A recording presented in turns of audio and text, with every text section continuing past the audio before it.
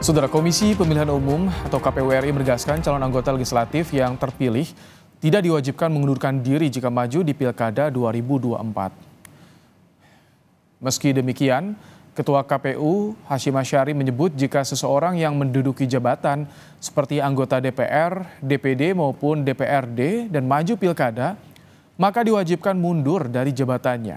Hal demikian juga berlaku bagi seseorang yang saat ini menjadi anggota DPR dan menjalankan kembali menjadi anggota DPR dan terpilih maka wajib mundur.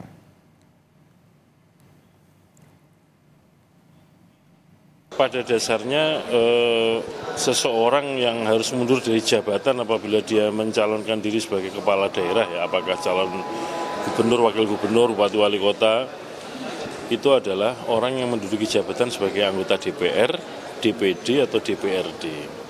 Jadi kalau dia tidak sedang menduduki jabatan itu dan dia nyalek ya, kemudian dinyatakan terpilih, nggak ada kewajiban mundur yang ada kewajiban mundur itu kalau orang menduduki jabatan. Gitu.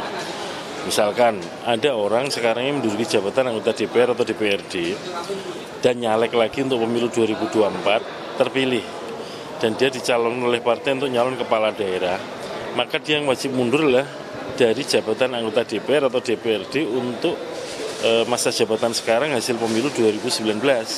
Tapi untuk terpilihnya kan tidak ada kewajiban karena undang-undang menyatakan yang wajib mundur orang yang sedang menduduki jabatan.